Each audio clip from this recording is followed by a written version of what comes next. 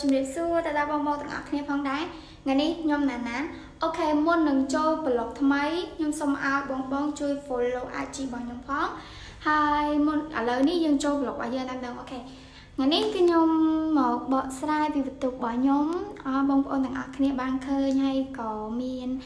បតិយោបល់ខ្លះដែលគាត់ចង់មើលពីបន្ទុករបស់ខ្ញុំអញ្ចឹងណាអញ្ចឹងយើងទៅមើលទាំងអស់គ្នាថាមានអីខ្លះ ហ្នឹងហើយអ្នកទាំងអស់គ្នានេះហើយគឺជាបន្ទប់របស់ខ្ញុំខ្ញុំមានភ្លើងបែបហ្នឹងហើយនេះគឺជាពុកខ្ញុំគេងហើយមានក្រែមានអីអញ្ចឹងធម្មតាដូចគេដូចឯងអញ្ចឹងហើយហើយកន្លែងនេះវិញគឺក្រែមរបស់ខ្ញុំបងប្អូនកុំច្រឡំក៏គ្រាប់ក្រែមទេហើយនោះគឺជាក្លឺផាត់ថ្ពរបស់ខ្ញុំមាននឹងកញ្ចក់មានក្លឺផាត់ភ្នែក មានលេមានអីអញ្ចឹងទៅបងបងស្រីស្រីប្រហែលជាយល់ហើយរបស់អស់ហ្នឹងវាសំខាន់ប៉ុណ្ណាហើយកន្លែងនេះវិញគឺជាស្រោមទូរស័ព្ទរបស់ខ្ញុំគឺខ្ញុំຕົកបែបហ្នឹងវាច្រើនពេកហើយកន្លែងនេះគឺអឺគ្រឿងបោគ្រឿងអីខ្ញុំពាក់អញ្ចឹងទៅ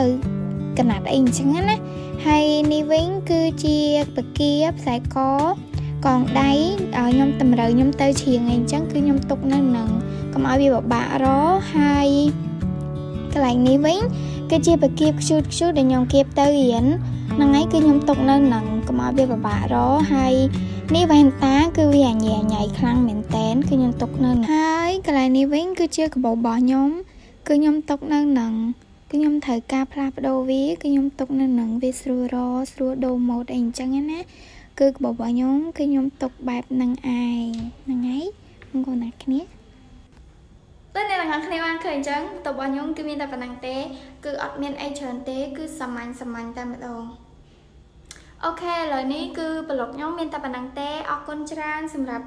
ការមើលប្លុករបស់ខ្ញុំហើយនឹងសូមឲ្យបងប្អូនជួយចុច Subscribe ឲ្យខ្ញុំផងនិងចុចរូបកណ្ដឹងឲ្យខ្ញុំផងអរគុណច្រើនហើយកុំភ្លេចជួយ follow IG របស់ខ្ញុំផង